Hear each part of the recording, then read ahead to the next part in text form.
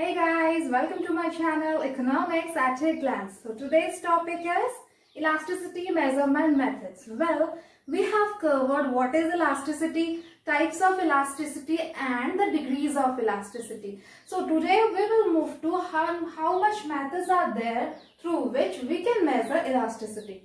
Okay, so first one is proportionate method and percentage method which we have already covered in the first lecture. Still if you have not seen that lecture, you can get it easily through the description box because I have mentioned the link in the description box. Okay. So next is the total outlay and expenditure method which we will cover in this lecture. The next two methods are geometric method which we otherwise call as point elasticity. Why? We will deal with that. And the last one is arc elasticity. Okay, so there are four methods.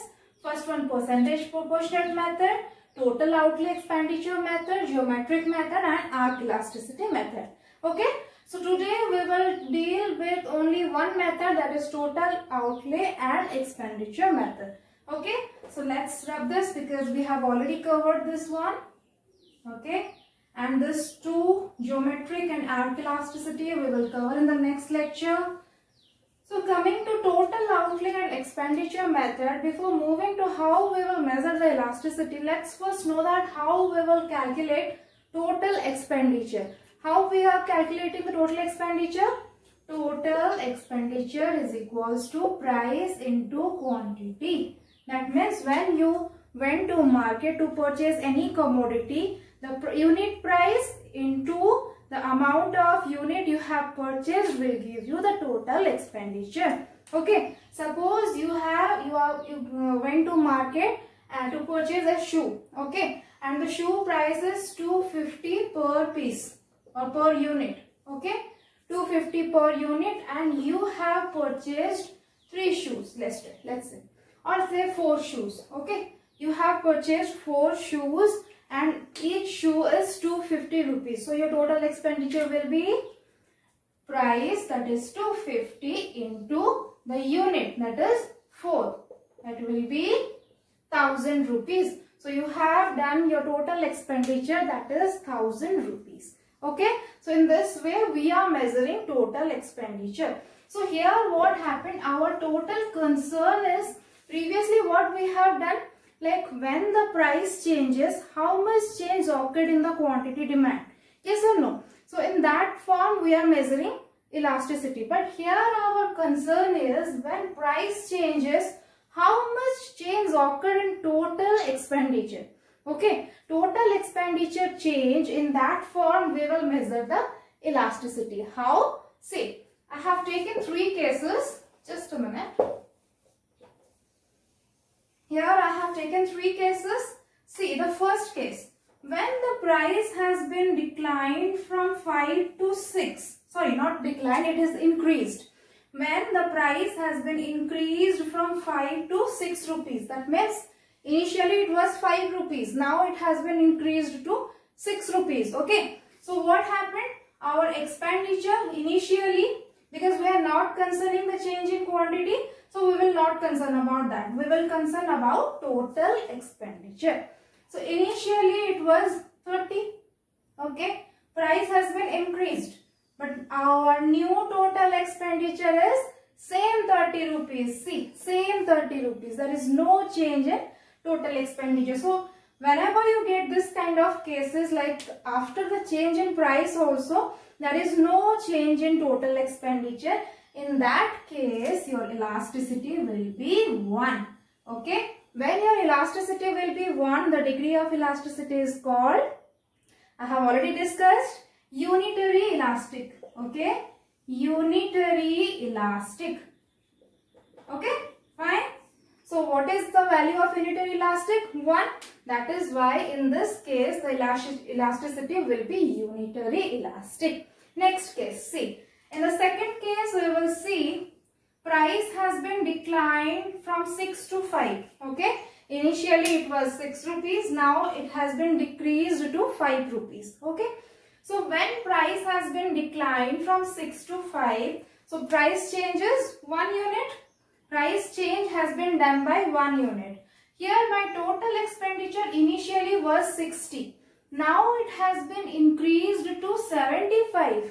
That means it has increased by 15 units. See, 1 unit change in price will give rise to 15 units change in total expenditure.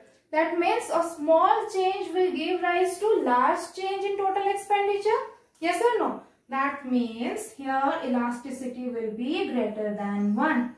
In which case elasticity is greater than 1? When the elastic is, sorry, it is more elastic or relatively elastic. Why it is relatively elastic? See, in the second case what happens? When price has been declined, total expenditure has been increased. When price decreased, total expenditure increased. Yes or no? 6 to 5 but it has increased from 60 to 75 and this one unit will respond to 15 units. Okay. And similarly when price will increase, it will give rise to total expenditure decrease. Okay, so this is the result why it is more elastic or relatively elastic you can say and the elasticity value is more than 1. Okay, fine. Unitary elastic, more elastic. Then the third case. See, third case what happens? Price has been declined from 6 to 5. Same case. Price has been decreased from 6 rupees to now 5 rupees. Okay. So what happened with that? Initially the total expenditure was 60 rupees. But in the second case when the price has been decreased, it became 55 rupees. That means price decreases, total expenditure also decreases and that too by 5 units. That okay. 1 unit decrease in price will give rise to decrease in total expenditure by 5 units. So what happens here? When price decreases, total expenditure decreases. When price increases, total expenditure increases. Okay. So what happened? Here, a 1 unit change will give rise to change in only 5 units. And it is not responding. Price is decreasing. But expenditure is also decreasing. So in this case, you can say elasticity, elasticity is less than 1. In which case, we will tell elasticity less than 1 it is less elastic less elastic okay so these are the three cases where you can measure first one unitary elastic where it can be more elastic and where it can be less elastic only by seeing the total expenditure. Okay? So more elastic in which case you can have more elastic see. Let's say it is like a small change in price will go on change in quant sorry total expenditure in a larger extent. That means when price will decrease total expenditure will increase in larger amount see when the jewelry price okay let's take an example of jewelry when jewelry price has been decreased by a small unit like uh, this lockdown period it was somewhat like 8000 Yes or no? Suppose it will decrease to 5000. Only 3000 decrease in price. What is the response of women's? They will purchase more and more jewelry. Why? Because they thought of that in the recent future may or may not be we can get in this, this much price. Yes or no? So they will, they will go for purchasing more and more amount of jewelry. Okay, so this is the nature of people like when the price decreases by small unit, they will go for doing expenditure in larger amount. Okay. The next case in which case we can have less elastic. See, uh, we can take example of salt or matchbox. See, so let's take an example of salt. Normal salt which you are using in home.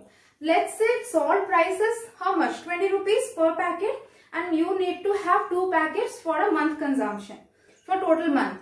Now I will say the price of that salt packet has been declined to 15 rupees. That means 5 rupees decrease in the price. But do you think with this 5 rupees decrease in price, you will go for purchasing 100 packets of salt? What you will do of that? No use. Only you can have hardly from 2 to 3 packets of salt. Not more than that. That means even your price has been changed by 5 units your consumption is not increasing more. Okay, so in that case it is less elastic. That means less than 1, more elastic greater than 1 and unitary elastic equals to 1. So in this way, we can measure elasticity through the total outlay and expenditure method. So this is all about this method. In next uh, lecture, I will cover the geometric method and the arc elasticity method. Till then, stay with my channel and don't forget to like and subscribe my channel. Thank you.